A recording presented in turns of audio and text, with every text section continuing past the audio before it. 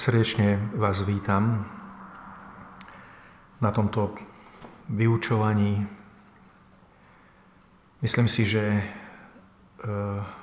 učiť sa viere, učiť sa poznávaniu Božieho zjavenia, písma, toho, toho, čo my potrebujeme ako veriaci, ako zdroj života, je pre nás dôležité. A určite budete súhlasiť, že každý z nás potrebuje nejaký impuls, nejakú motiváciu.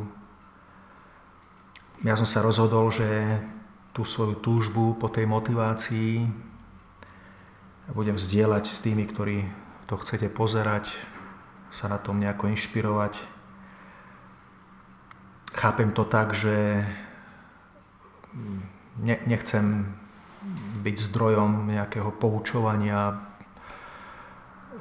chcem byť skôr e, svetkom toho, čo sám verím, čo, čo mi pomáha, e, čo, čo ma núti hľadať a mať aj taký, také povzbudenie, takú istotu, že určite mnohí z vás, ktorí budete toto sledovať, sa budete takto virtuálne deliť o to hľadanie aj spolu so mnou. Hľadať e, je jeden z princípov Božieho kráľovstva, to znamená vyvíjať isté úsilie, vedomé úsilie, porozumieť tomu, čo učí Ježiš Kristus, porozumieť tomu dôvodu, prečo to máme vedieť, prečo napríklad treba veriť, prečo je dôležité veriť. Myslím, že nestačí len, že skonštatujeme, že sme veriaci a nejako prežívame svoju vieru. Máme aj také poslanie napríklad zvestovať evanilium iným, svedčiť o svojej viere iným. Musíme sa tiež pýtať, že prečo to máme robiť, aký je dôvod, aby sme tomu rozumeli, či je to dôležité pre tých ľudí, ktorí to ešte nepočujú, nepoznajú. Alebo aby sme vedeli my, či máme dostatok priestoru v sebe, vo svojom srdci, to dať von iným, či to vieme, máme chuť. Takisto, takisto máme povolanie, poslanie raz v láske k Bohu. To je niekedy tak veľmi ťažké porozumieť, že ako máme raz v láske k Bohu. Z toho sa často vyznávame, že Boha nemilujeme dostatočne, zároveň sme možno v rozpakoch, že ako by chcel Boh od nás niečo, čo nevieme urobiť tak, ako by, ako by to chcel možno, aby, aby to bolo dokonalé. A predsa e, nikdy nás nepovoláva k tomu, čo by pre nás bolo nedosiahnutelné. Len možno musíme to správne rozumieť a musíme sa to, e, toho dotknúť a tým dotykom tej Božej pravdy, ktorú nám Pán zjavuje v Jeho slove, potlačiť, oslabiť naše vlastné predstavy, nejaké predsudky, zabehané mechanizmy, ktoré v nás sú. Je veľa horlivých ľudí.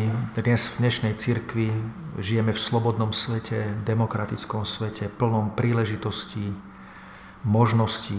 Čiže e, dnes ľudia môžu cestovať, komunikovať, e, môžu sledovať veci cez médiá, je veľa príležitostí, aby ľudia zažili niečo nové zo života viery o Bohu. A predsa sa môže stať, že uviazneme v nejakých spôsoboch nám blízkych, stanú sa postupne nejakou zotrvačnosťou, že, že používame možno spôsoby alebo pojmy, ktoré už ani nemajú tú váhu, ktorú by mali mať. Proste bez rastu bez ohľadu na to, ako sme zažili impuls viery, z čoho sme ho zažili, z akého zdroja, kto bol tým svetkom, aké spoločenstvo, aké podujatie, aká kniha, tak e, bez ohľadu na to, ako sme to prežili, vždy nás bude Pán povolávať, aby sme zanechali isté spôsoby svojho myslenia, svojho prístupu a išli znova na hlbinu, tam, kde nás Pán volá. Mnohí ľudia sa trápia, e, chcú prísť k nejakej skúsenosti, ktorá by ich posilnila vo viere. Mnohí ľudia sa trápia možno na základe nedostatočného prežívania tejto viery.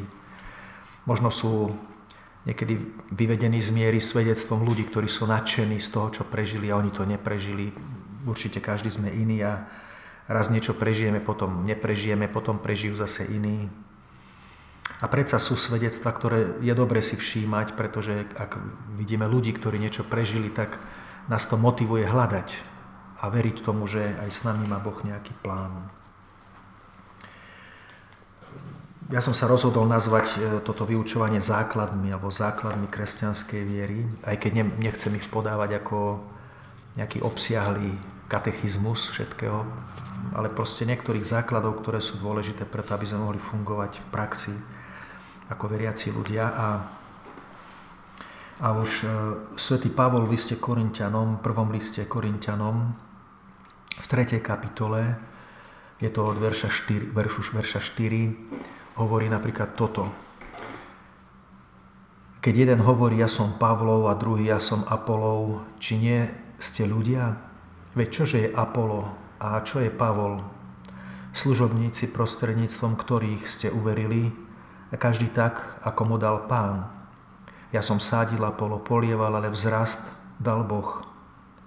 A tak ani ten, čo sadí, nie je nič, ani ten, čo polieva, ale Boh, ktorý dáva vzrast. Kto sadí, kto polieva, sú jedno, ale každý dostane vlastnú odmenu, odmenu podľa toho, ako pracoval. Lebo my sme Boží spolupracovníci a vy ste Božia roľa a Božia stavba, podľa Božej milosti, ktorú som dostal, položil som ako múdry staviteľ základ a iní na ňom stavia. Ale každý nech si dáva pozor, ako na ňom stavia. Lebo nik nemôže položiť iný základ, okrem toho, čo je už položený, a je ním Ježiš Kristus. Myslím si, že to slovo pre mňa momentálne neznamená, že by sme boli nejakí rozdelení, ja som Pavlov, ja som Apolov, ale čo si všímam, tak aj v mojom živote, v, iných ľudí, v životoch iných ľudí je strašne veľa skupín a každý má tú svoju, ktorej verí, ktorá mu je blízka. Každý si rád osvojuje spôsoby tých skupín. Zdá sa niekedy, že nás tie spôsoby, každému šité na jeho mieru, čo sa mu páči, trošku vedú k takému, takej takému nesprávnemu prežívaniu niektorých vecí. Stane sa to neskôr možno pre nás len takým e, možno kliše tie spôsoby. Nejdeme na hĺbku, nevedie nás to k väčšej láske, možno k väčšej odovzdanosti, tolerantnosti a podobne. Sme skôr takými fanúšikmi našich spôsobov a našich, našich prúdov a našich skupín. Čiže myslím si, že vždy všetko by nás malo viesť napokon k tomu, o ktorom hovorí svätý Pavol, že základom je Ježiš Kristus. Aj keď ten, kto sadil, alebo ten, kto polieval, môže byť nejaký človek, nejaký prúd, nejaká skupina, nejaké spoločenstvo. Ak máme prežívať vieru a tá viera má prinášať skutočný úžitok pre nás, ten, ktorý chce Boh nám dávať, tak stále tam musí byť viditeľný ten základ. A k tomuto základu sa chcem teraz vrácať a chcem sa k nemu hlásiť. Aby som vás mohol povzbudiť, že je to možné, pán si nachádza rôzne spôsoby, ako sa dotýka ľudí, keď ho hľadajú, tak e, určite nájde spôsob, ako vstúpiť novým spôsobom do nášho života. Keď som si raz objednával na Amazone e, jednu knižku od Johna Wimbera, PowerPoints. PowerPoint je niečo ako zástrčka, ale on hovorí o istých takých e, bodoch kresťanského života, nejakých etapách, ani nie etapách časových, ale možno tematických, ktoré sú veľmi dôležité pre ľudský život. Ne, nevychádzam z tej knihy, len chcem dať ako príklad.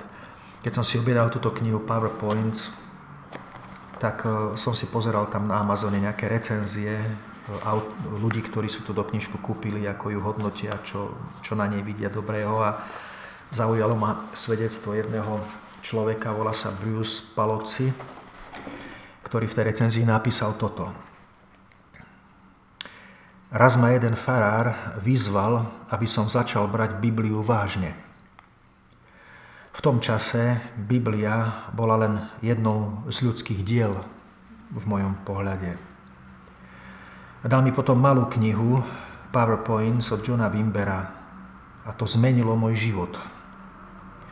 Pamätám si, ako som bol v lietadle na ceste do Nového Mexika, keď som končil, dočítaval túto knihu.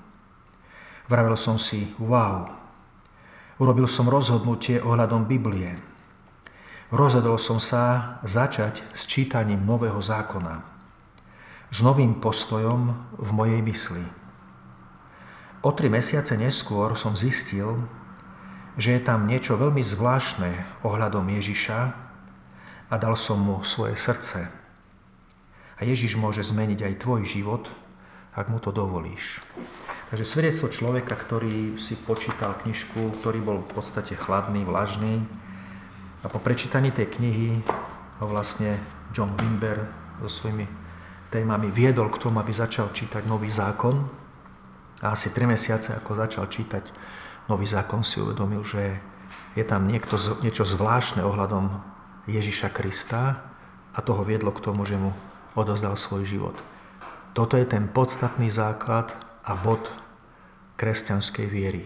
Toto chceme oživiť aj, aj týmto seminárom. Samozrejme použijeme na to, čo nám, čo nám príde v tej obmedzenej kapacite, ktorú ja ako človek mám. Nie som schopný podať systematický výklad, všeobsiahli. Určite sú veci, ktoré by ste mohli vy ale chcem sa zamýšľať spôsobom, aký dokážem, aby sme stále nejakým, nejako došli k tomuto základu, ktorým je Ježiš Kristus.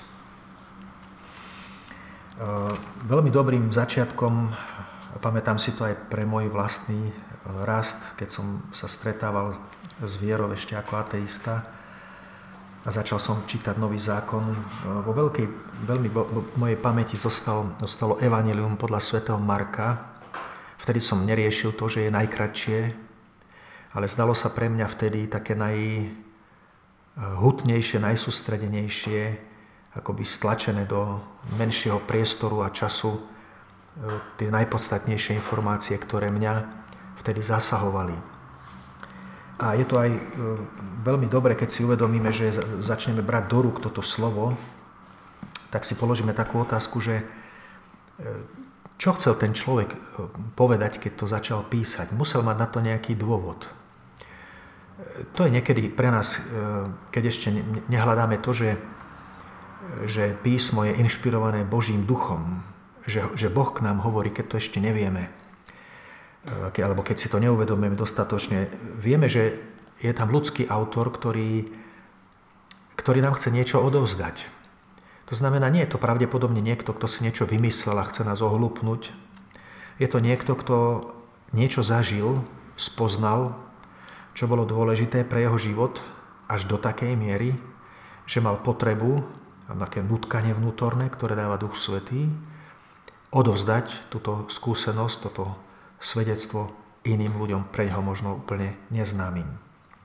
Myslím si, že možno taký Marek, skutočná postava, ktorý je autorom tohto evanelia, ani netušil, že o nejakých skoro 2000 rokov, tu treba niekde na Slovensku, nejakí ľudia sa budú zaoberať jeho textom. On to v tom možno vtedy ani nevedel, možno si myslel, že to zasiahne nejakých ľudí okolo neho, vôbec určite nerozmýšľal ani tak ďaleko, že to bude toľko trvať. Takže je dobré si položiť na začiatku otázku, keď hľadáme tie základy, zoberieme do ruky knihu, Božie slovo a vtedy si uvedomíme, že vlastne čo viedlo autora e, a čo je to podstatné, čo nám chce odovzdať. Ja som si uvedomil, keď som to začal čítať, že to evanílium hovorí niečo veľmi osobné pre každého z nás, čo je na začiatku dôležité podchytiť a uvedomiť si to. Je niečo veľmi osobné medzi tým textom, tým posolstvom a každým z nás. Niečo veľmi osobné. Skúsime to prečítať. Začiatok Evanielia Ježiša Krista, Božieho Syna. Evanielia ako posolstva. Začiatok posolstva Ježiša, Mesiáša, Krista, Božieho Syna. Prorok Izajaš kedy si napísal, hľa, posielam svojho posla pred tvojou tvárou a on ti pripraví cestu. Samozrejme, tu sa hovorí o Jánovi Krstiteľovi, že on je poslaný pred Mesiášom, aby jemu pripravil cestu. Na druhej strane, keď som to čítal, som si ja uvedomil pre seba, ako by Marek bol ten, kto je poslaný predo mnou, aby mne pripravil cestu. To znamená, ja ako, ako ten, kto číta to evanelium, to počúva to slovo, si zrazu uvedomujem, že je tu niekto, kto túto cestu prešiel už predo mnou. kto tou cestou, po ktorej mám ísť ja, prešiel predo mnou a tú cestu pripravuje, aby upo- upovedomoval moje srdce na niektoré veci, ktoré ma po tej ceste budú viesť až k cieľu. Čiže samozrejme on hovorí o Jánovi, že bol poslaný pred Ježišom, aby pripravil cestu, ale zároveň pre nás to môže znamenať, že aj autor textu, Marek, a dokonca Duch Svetý, ktorý to slovo inšpiroval, on nám chce pripraviť cestu. Predstavte si, že Duch Svetý vám chce pripraviť cestu k Ježišovi, aby ste ho stretli, zažili, prežili stretnutie s ním, ktoré vám, ktoré vám spôsobí spásu. Je to podobné ako ja, keď som si to uvedomil, ako som sa od neviery, ateizmu dostal až k osobnému prežívaniu stretnutia s osobou Ježiša Krista. Nebol by som to nikdy vymyslel tak a nebol by som to nikdy si to predstavil tak, že ma to krok za krokom privedie až k situáciám, ktoré by som nikdy nepredpokladal a nepredvídal. A až keď sa to stalo, keď to preniklo do mojho života, keď som konečne vydýchol ako človek viery, som si uvedomil, že v tom bol pán. On tam pracoval, aby ma k tomu priviedol. A toto je, to je proste postavenie vždy v našom živote, že keď berieme do rúk Božie slovo, tak ten, kto to slovo prehovoril, kto to slovo vytvoril, sám Ježiš Kristus to prehovoril, to slovo, a Duch Svetý, ktorý vytvoril to slovo v Markovi a Marek, ktorý je tým svetkom, chce nám pripraviť cestu, aby sa v našom terajšom živote tu odohralo to, že Ježiš Kristus je pre nás spasiteľom. Pamätám sa aj to, že tá cesta e, mi pripadá mi trošku tak, že my môžeme hľadať rôznym spôsobom. Môžeme hľadať rôznym spôsobom.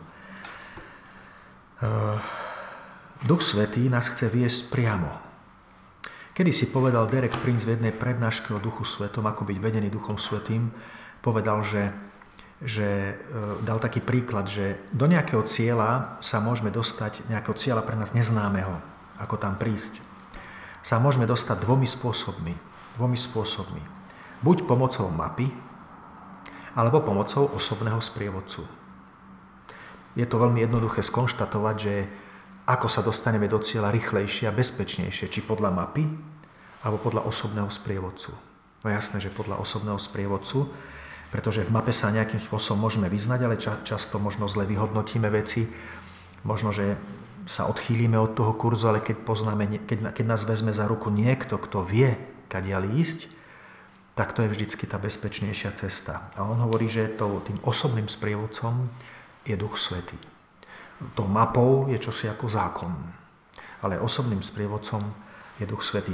A ja som si vtedy aj uvedomil to, že e, keď som bol na vojne, už dávno to bolo, a robili sme, ja som robil figuranta pri výcviku psov služobných, mal som tú úlohu figuranta za trest, mal som nejaký trest tam vojenský za nejaký delikt, tak mi dali vybrať, či pôjdem si odsedieť dva týždne, alebo budem robiť figuranta celé dva roky, tak som si vybral tie dva roky robiť figuranta.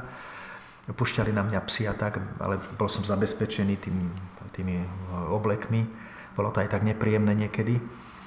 Robili sme taký, e, nacvičovali, precvičovali sme psov v, takom, e, v takej úlohe, ktorá sa volá revír. A revír je to, že keď viete, že niekde tu v tomto priestore, veľkom priestore, možno na nejakom, nejakom lese alebo niekde v meste, alebo neviem, kde je skrytý nejaký páchateľ vy ho nevidíte a ten pes ho na, na tú diálku nezacíti, že kde môže byť presne, tak e, ten psovod išiel takto priamo rovno, pomaličky kráčal dopredu a tomu psovi povedal, že revír. A ten pes bežal tam a hľadal, hľadal, teraz prišiel niekde tam ďaleko, 50 metrov, zase sa vracal a zase, ak išiel takto okolo neho, tak zase mu ukázal na druhú stranu, povedal revír. A ten vlastne, on ako kráčal dopredu, ten pes takým cikcakom veľkým, obrovským, prečesal celé to územie tou svojim rýchlou chôdzou, tým ňuchom, až zrazu narazil na toho, na toho páchateľa, ktorým som bol ja figuranta, som bol pritlačený takto pri strome a keď prišiel ten pes ku mne, tak začal brechať, aby naznačil tomu psovodovi, že, že ma zadržal. A som si tak uvedomil s tým sprievodcom, že Ehm, my niekedy hľadáme pána ako ten pes, keď chodí tým revírom takto. Ten pes tým revírom takto chodí, strašne sa nabehá, hoci jemu to až tak nevadí, má štyri nohy, to iné ako keď my máme dve. Ale lepšie to má ten figurant, ktorý ide priamo čiaro rovno a vie, že ten pes to nájde sám. Čiže naša cesta k pánovi má byť taká, nie taká klukatá, krivolaká, e, taká, že raz sme hore, raz sme dole. E, má, má byť priama. A možno práve preto, že prebiehame k rôznym takým svojim túžbám, predstavám, raz nás niekto ovplyvne, raz niekto niečo povie, raz niekam ideme, potom niekam cestujeme, potom stále niečo objavíme, častokrát pri tom nevytrváme. Naša cesta je často taká rozhádzaná, roz, roz, taká neistá, potom sa nám zdá po nejakom čase, že to nesmeruje tam, kam chceme. Pán chce, aby sme šli priamo. To znamená, keď zoberieme evanelium, a dovolíme Duchu Svetému tým, aby v našom srdci pôsobil a sme pozorní. On nás povedie deň za dňom veľmi krokmi, krokmi, ale do toho cieľa, ktorý on má stanovený s nami, aby nás k nemu priviedol. Čiže keď sa pýtame, e, čo chce, e, po čom túžil Marek ako autor a po čom túži Duch Svetý ako autor toho slova, tak aby nás priviedol k Ježišovi. Preto pripravuje cestu. Pripravuje cestu Ježišovi, aby bol nami prijatý a pripravuje cestu nám, aby sme vedeli, kadiaľ máme kráčať a prísť k nemu. Dovolme tomuto sprievodcovi, aby nás aj z tejto situácii priviedol. Je zvláštne potom, že my máme veľmi ťažkú tému v cirkvi, ktorá, ktorú ovládame teoreticky, alebo sme sa aj učili v katechizme, v škole. Je to, je to téma alebo problematika Svetej Trojice. To je veľmi vážna téma. Pre niektorých ľudí je to až nepredstaviteľné, neuveriteľné, pretože možno tak ľudský, logicky len si predstaviť, že Boh je len jeden, to je, dá sa to predstaviť v našej hlave, logike, ale pri, pri, nejaký pripustiť, že Ježiš ako človek, syn Boží, bol rovný Bohu. To je ťažké si predstaviť, ako to môže fungovať, že Boh je v nebi a zároveň je na zemi. A to už si myslím, že ani netušíme niekedy do, do tretice, že prečo tam je ešte aj Duch Svetý na to. Hej.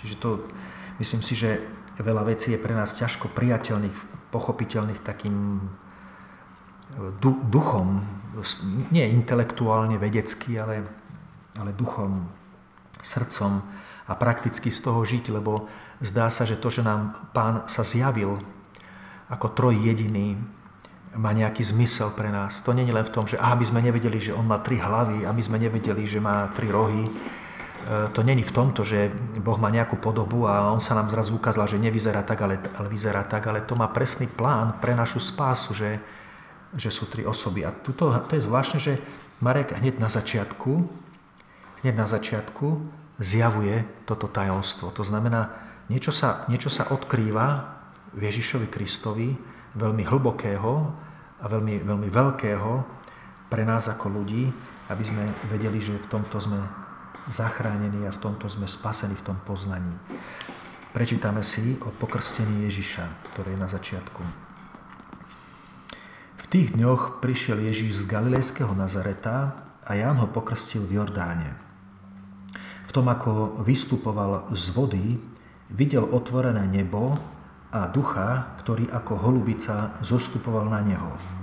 A z neba zaznel hlas. Ty si môj milovaný syn, v tebe mám zalúbenie. Vidíte, to je také zvláštne, že ľudia poznali, skrze zjavenie, poznali pána. Izraeliti poznali pána, pretože im sa zjavoval cez slovo, cez prorokov, v rôznych znameniach, e, mocných činoch, hej, v histórii, v dejinách. Stále sa dával poznať, prehováral cez prorokov o sebe, o svojej vôli, o svojej túžbe, o svojej, o svojej vášni za, za Boží ľud. Niekedy aj o svojom takom hneve, ktorým tento ľud vychovávala a viedol. Ale tu sa zrazu ukazuje, že človek, Ježiš, ktorý bol nazvaný Mesiáš, to znamená spasiteľ alebo vykupiteľ, zrazu ako prorokuje Ján, hovorí o ňom, že on vás bude krstiť duchom svetým. To znamená, že nebude vás krstiť len rituálom nejakým, ktorým vy naznačíte nejaké, nejakú vôľu zanechať starý spôsob života, ale nás bude krstiť Duchom Svetým, čo mohlo byť nepredstaviteľné pre tých ľudí, keď to počuli, čo to bude. Čo to bude? Vieme si len predstaviť toľko, že, že zdalo sa z toho slova, že to, čo vyzerá byť v náznaku, zrazu bude v skutočnosti. To, čo čítame na papieri, sa zrazu stane realitou. A tu sa zrazu hneď ukazuje, že keď bol Pán Ježiš pokrstený tým, tým krstom pokánia, hoci on pokánie nepotreboval, tak hovorí sa, že Ján zrazu videl otvorené nebo. Otvorené nebo v zmysle toho, ako to zažívali pravdepodobne proroci, že mal také vytrženie, zjavenie, videl možno Božiu slávu, nie len možno v oblaku nejakú dieru, nejaký prienik nejakej dimenzie, proste videl Božiu slávu, otvorené nebo a zrazu videl Ducha Božieho zostupovať na Ježiša a to ešte nestačilo, hovorí sa dokonca, že z neba zaznel hlas, Otcov hlas. Toto je môj milovaný syn, v ňom mám zalúbenie. A zrazu v jednej situácii, v jednej chvíli sa nám Boh zjavuje vo všetkých troch osobách. To je veľmi zvláštne. To si viem predstaviť, ako mohli ľudia tej doby, keď to čítali, to evanelium, napríklad ľudia zo židovskej komunity, muselo byť pre nich veľmi možno ťažké tajomstvo, ale nemyslím len tak racionálne, ale vedieť, že čo vlastne sa v Ježišovi Kristovi udialo, že, že prišiel na túto zem, stal sa pre nás spasiteľom ako človek, že sme ho mohli vidieť a že kde Ježiš chodil, tam sa otváralo nebo a, a Boží duch zjavoval svoju prítomnosť, svoju moc a zároveň bolo počuť, že to je všetko od toho Boha, ktorého oni verili, od toho Jahveho, od toho pána. Čiže to je veľmi, veľmi dôležité a my vlastne teraz chceme prežívať ten začiatok toho rozhodnutia, je dobre práve na ten začiatok urobiť isté také rozhodnutie, začať e, naozaj vnímať to slovo ako niečo, čo sa nám ukazuje ako cesta k pravde, cesta k Bohu, cesta k Ježišovi. Čiže e, na začiatku svätý Jan hovorí, že on nás krstí krstom pokánia. To znamená, že aj my máme na začiatku urobiť to pokánie. To pokánie znamená, že Možno sa môžeme predstaviť nejaké polepšenie svojho života, ale v základe by mohlo znamenať toľko, že pokánie znamená istá deliaca čiara. Nie, nie je to jednoduché a nie je to banálne ani zanedbateľné, že Jan krstil ľudí v Jordáne. To nie je, to nie je tam samoučelné, že ich krstil v Jordáne a nie je to ani pravdepodobne len preto, že tam naokolo si nemohol vybrať nejakú inú vodu, možno nie, neviem. Ale nebolo to v Jordáne pravdepodobne len z nejakej nutnosti, že proste bola tam voda, ale Jordán mal veľmi veľký význam pre Izrael z hľadiska istého znamenia, ktoré, ich, ktoré, ktoré, ktoré bolo pre nich niečím, kade prechádzali do zaslúbenej zeme, keď prichádzali, keď putovali púšťou, potom vstupovali do zaslúbenej zeme a prechádzali očistou, očistou toho, toho Jordána. E, to znamená, že keď tých Izraelitov, ktorí mali veľmi e, silný vzťah k tej zemi, ktorú pokladali, že je zem, ktorú im dal Boh ako zaslúbenú zem. A keď vedeli, že za hranicami tej zeme už nie je tá svetá zem, tá zaslúbená zem, a vedeli, že je tam ten Jordán, ktorý pre nich slúžil ako istá hranica toho vstupu a toho očistenia, tak Ján mohol vlastne tým naznačovať, že, že to, čo veríte o Bohu, ten Boh, ktorého veríte, vráťte sa naspäť k tým koreňom. Vráťte sa naspäť do toho Jordána vráťte sa naspäť k tomu očisteniu, k tomu pokániu, aby ste novým spôsobom znova mohli uvidieť tú zem, do ktorej vás Boh povolal. Aby to, čo sa pre vás postupne stalo zastretým, sa znovu odkrylo. Aby to, čo sa postupne akoby stratilo, alebo stalo sa rutinou, alebo samozrejmým, zrazu ožilo. Hej, toto, toto bolo dôležité. A zrazu vidíte, že, že keď sa Ježiš dal pokrsiť v Jordáne, zjavil sa pánov hlas z neba a zjavil sa, zjavil sa Duch Svetý. To znamená, že aj my začíname, alebo chceme začať, mali by sme začať aj toto uvažovanie tým, alebo končiť tento diel, ale začať to celé to, na pokračovanie, to uvažovanie naozaj tým rozhodnutím e, robiť pokánie, to znamená zastaviť sa, možno prehodnotiť niektoré svoje spôsoby, nehovorím, či sú dobré alebo zlé, ale proste prehodnotiť to, že sú veci, ktoré sú už za nami. Nemyslím si, že, že je potrebné sa len vrátiť naspäť dozadu, ale proste si uvedomiť, že kde som, kde stojím a, a či moje srdce je tak nastavené voči Bohu, aby On mohol konať. Na druhej strane, v tom, že keď pristupujeme k Bohu, k Jeho slovu, očakávame, že Pán pred nami niečo chystá, že, že niečo chystá pre nás. To znamená, musíme zanechať svoje spôsoby, staré spôsoby, hriechy, zlozvyky, postoje, ktoré sú negatívne, e, zahodiť nejakú beznádej, nechuť, nejakú frustráciu a rozhodnúť sa pre takú nádej, túžbu a aj vieru, že to, čo berieme do rúk, to Božie slovo, nás privedie k tomu, aby sme naozaj boli oživení, aby sa Pán dotkol nášho srdca a znovu nás objal. Takže môžeme si naozaj každý dať také predsavzatie, že zoberieme teraz to evanilium do ruky a aspoň ten začiatok na ten prvý, prvý týždeň, kým príde ďalšie, ďalšie pokračovanie, si pomaličke a viackrát prerozímame ten začiatok Evanielia podľa Marka, o tom porozmýšľame o tom, že že čo je cieľom toho evanelia pre nás, že keď si napríklad predstavíte, budete niekde sami sedieť doma, zoberiete si Božie slovo do ruky a budete si uvedomovať, že teraz niekto chce vám pripraviť cestu, aby ste prišli k pánovi novým spôsobom a aby vás občerstvil o svojej viere. A vy viete, že ten niekto je Marek, ale ten niekto predovšetkým je Duch Svety sám, ktorý vám chce dať vo svojej moci poznať Pána Ježiša ako spasiteľa.